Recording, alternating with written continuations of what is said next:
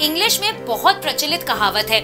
Aim for the stars at least you will reach the moon इसका मतलब ये है कि कोशिश तारों में पहुँचने की होनी चाहिए ताकि अगर आप असफल भी होते हैं तो कम से कम चाँद तक तो पहुँच ही जाएँगे। आईएएस की तैयारी भी इसी तर्ज पर करनी चाहिए।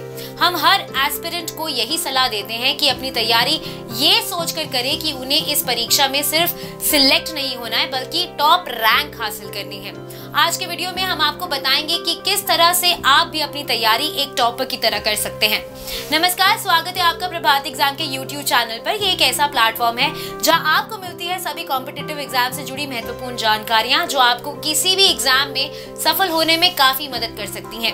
अगर आप हमारे यूट्यूब चैनल पर पहली बार जुड़े हैं तो हमें लाइक और सब्सक्राइब ज़रूर करें और हमारे लेटेस्ट वीडियोस और अपडेट सबसे पहले आप तक पहुँचे, इसके लिए बेल आइकन को प्रेस करना ना भूले। तो आइए शुरुआत करते हैं आज की वीडियो की, जो है टॉपर सीक्रेट आई बनने के लिए ऐसे पढ़ाई करें।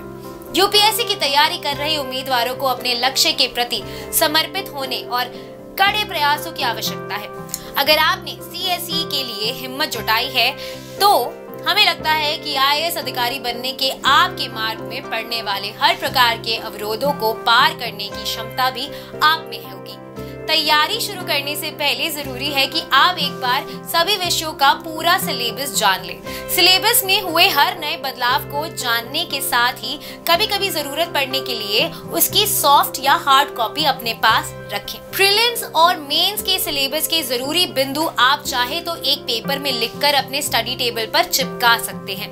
अपनी क्षमता के अनुसार टाइम टेबल बनाएँ और उसे रिलीजियसली फॉलो करें। टाइम टेबल बनाते समय ये ध्यान रखें कि वो ऐसा ना हो जिसे आप फॉलो ना कर सके, वरना ये काउंटर प्रोडक्टिव हो सकता है।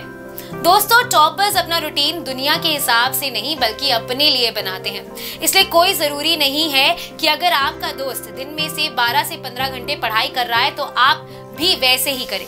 यदि आप छह से आठ घंटे भी सीरियसली पढ़ाई कर लेते हैं तो आप भी इस परीक्षा में सफल हो सकते हैं।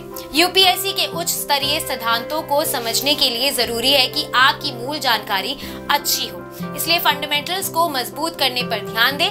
इसके लिए एनसीईआरटी किताबों को जितनी बार हो सके उतनी बार पढ़ें। इसके चैप्टर्स के एंड में दिए गए क्वेश्चंस को भी सॉल्व करें। मज़बूत नींव आपको विषयों को विस्तृत तैयारी करने में मदद करेगी, जो यूपीएससी परीक्षाओं में सफल होने के लिए बेहद ज़रूरी है। परीक्षा की समझ हासिल करने के लिए आपको पिछले सभी क्वेश्चन पेपर सॉल्व करने की आवश्यकता है। इससे आपको इम्पोर्टेंट सेक्शन और दोहराए जाने वाले प्रश्नों का अंदाज़ा हो जाएगा। इसके अलावा पिछले प्रश्न पत्रों को पढ़ने से आपको अपनी तैयारी का भी अंदाज़ा हो जाएगा। कोशिश करें कि तैयारी की शुरुआती दिनों में आप महीने में एक या दो बार मॉक टेस्ट ज़रूर लें। जैसे जैसे एग्ज़ाम नज़दीक आते जाएँ तो आप सप्ताह में एक बार, फिर दो बार और फिर डेली मॉक टेस्ट की प्रैक्टिस करें। इसके साथ ही आंसर्स लिखने की भी प्रैक्टिस लगातार करते रहें। यूपीएससी की तैयारी में रिवीजन का बहुत इंपॉर्टेंस होता है। अक्सर हम ये सोच लेते हैं कि रिवीजन तो एग्ज़ाम के नज़दीक आने पर करनी चाहिए, लेकिन ये धारणा टॉपर्स की नहीं होती। वो नियमित अंतराल पर रिवीजन करते रहते हैं। रिवीजन के लिए यदि आप अपने नोट्स बनाएँगे तो बेहतर होगा। इससे आपके मन में पॉइंट्स क्लियर होंगे और एग्ज़ाम में आप पॉइंट्स के आधार पर बेहतर आंसर भी दे पाएँगे।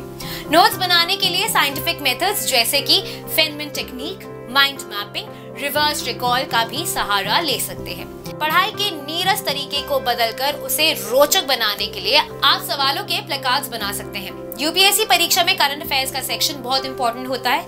ये सेक्शन एग्ज़ाम में आपका खेल बना भी सकता है और बिगाड़ भी सकता है। ये सेक्शन कितना इम्पोर्टेंट है, इसका अंदाज़ा आप इसी बात से लगा सकते हैं कि हिस्ट्री और पॉलिटी का अलावा लगभग हर सब्जेक्ट के क्वेश्चंस का एक बड़ा पार्ट करंट अफेयर से संबंधित होता है। रिटर्न के अलावा पर्सनल इंटरव्यू के लिए भी आस पड़ोस और विश्व भर के राजनीतिक, ऐतिहासिक, सामाजिक और आर्थिक जगत में होने वाले हलचल की जानकारी होना आवश्यक है। इसलिए इस सेक्शन को इग्नोर मत कीजिए। इसकी तैयारी के लिए नियमित अखबार और मैगजीन पढ़ने की आदत बनाएँ। इसके नोट्स भी डेट वाइज तैयार करें। उम्मीद है हमारी आई की तैयारी से जुड़े टिप्स की मदद से आप भी इस परीक्षा को पास करने के लिए तैयार हैं। अगर आपको हमारा ये वीडियो पसंद आया है तो इसे अपने दोस्तों के साथ ज़रूर शेयर करें और अगर आपके पास हमारे लिए कोई भी सवाल है तो इसे कमेंट सेक्शन में लिखकर हमें बता सकते हैं। जल्दी आपसे फिर मुलाकात होगी एक नए टॉपिक पर, एक नए वीडियो के साथ। देखते रहिए प्रभात एग्ज़ाम्स नमस्कार।